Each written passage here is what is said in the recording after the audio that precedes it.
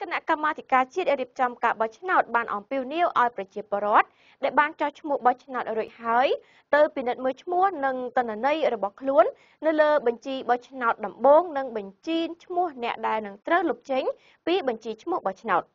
កោចបបានបញ្ជាក់ថាឈ្មោះនិងតនន័យទាំងនោះនឹងត្រូវបិទផ្សាយនៅសាលាឃុំសង្កាត់និងទីតាំងណាមួយនៅក្នុងឃុំសង្កាត់ចាប់ពីថ្ងៃទី14ដល់ថ្ងៃទី24ខែធ្នូឆ្នាំ2017ខាងមុខនេះ។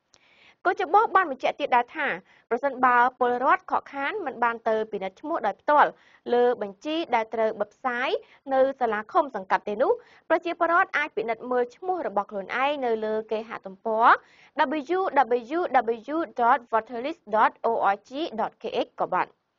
គឺបញ្ជាក់ថាការចុះឈ្មោះបោះឆ្នោតថ្មីឆ្នាំ2017រយៈពេល70ថ្ងៃ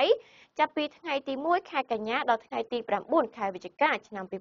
2017មានអ្នកចុះឈ្មោះសរុបចំនួន536,674នាក់ចំនួនឈ្មោះអ្នកបោះឆ្នោតដែលត្រូវលុបចេញពីបញ្ជីឈ្មោះបោះឆ្នោតមានចំនួន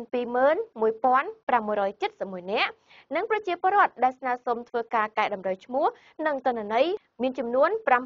5,572នាក់ សរុបជាលទ្ធផលបន្តអាសន្នអ្នកមានឈ្មោះក្នុងបញ្ជីបោះឆ្នោតឆ្នាំ2017សរុបមានចំនួន8លាន382,240នាក់ស្មើនឹង84កណ្ដកសញ្ញា80%បើធៀបទៅនឹងចំនួនប៉ាន់ស្មានអ្នកមានអាយុចាប់ពី18ឆ្នាំឡើងទៅ មានចំនួន9លាន882,746នាក់